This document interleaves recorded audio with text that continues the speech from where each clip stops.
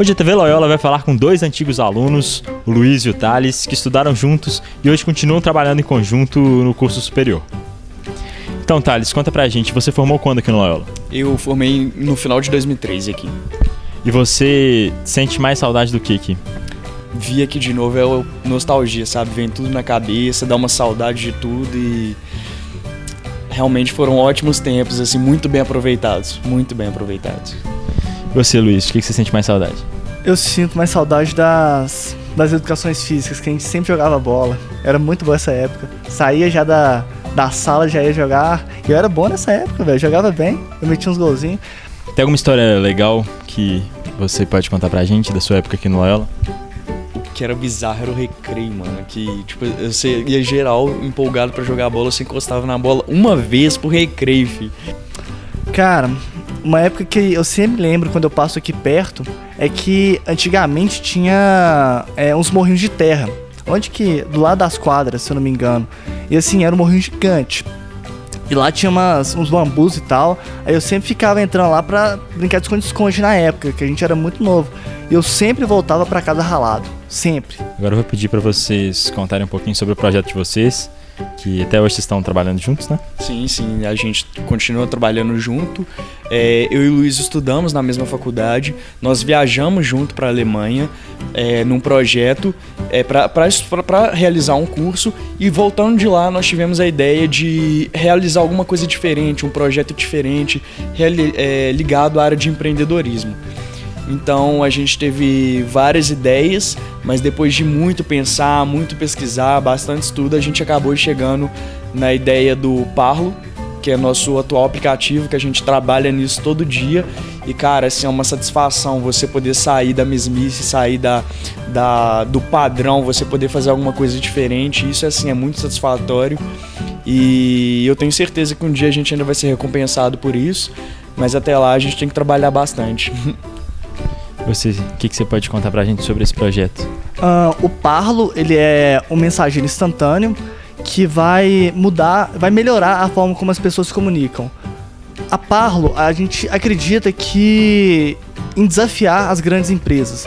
A gente acredita que uh, pessoas comuns, qualquer pessoa pode fazer um projeto que se ela se envolver bem e se ela dedicar, ela pode fazer uma ter um resultado melhor do que grandes empresas já estabelecidas hoje em dia. Agora, vendo essa visão empreendedora de vocês, eu posso perguntar qual foi a importância que o Loyola teve na formação de vocês? Olha, o Loyola teve uma importância muito grande na questão da, da, da criatividade, que isso é uma das coisas mais importantes que a gente precisa ter, e na questão de assim correr atrás do que, do que precisa ser feito. Ele deu muito essa sensação de que a gente só vai conseguir as coisas se a gente realmente batalhar por elas. Você, você pode falar que o Loyola ajudou nessa sua visão empreendedora? Com certeza, mas eu vou destacar duas coisas que o Loyola me ajudou muito a seguir nessa vida. A primeira delas, com certeza, foi disciplina. Disciplina para poder botar na minha cabeça o que, que eu quero e continuar ali todo dia até chegar onde eu quero chegar.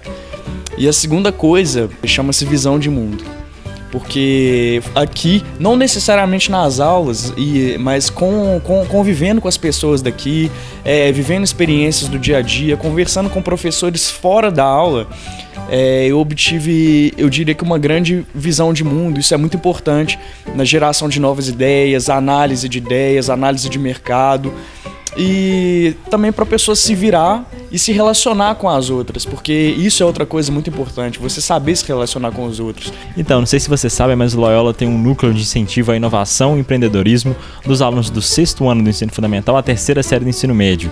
Para vocês, qual a importância é, da participação do Loyola nesse quesito? Cara, é... vai fazer toda a diferença isso.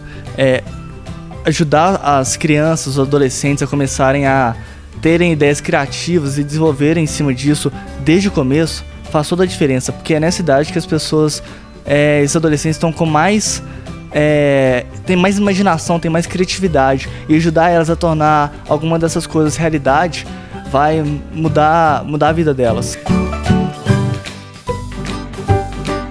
Então, primeiramente, é, a instituição e aos professores, eu gostaria de agradecer pela formação da minha pessoa. Mas eu queria mandar é, uma mensagem para essas pessoas que são mais jovens, que estão no Loyola agora, porque estudar te ajuda a abrir a cabeça, isso te ajuda a pensar de formas diferentes. Isso aí, para você ter um empreendimento, faz toda a diferença. Valeu!